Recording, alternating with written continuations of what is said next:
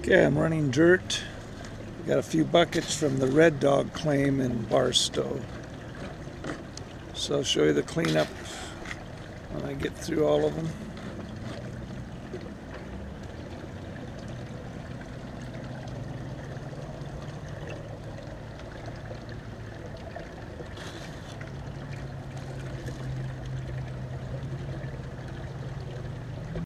As you can see, plenty of black sand.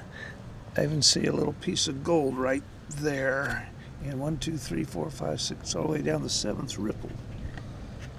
So here's some of the buckets I ran from the Red Dog claim, a Prospectors Club of Southern California claim that I go to in Barstow.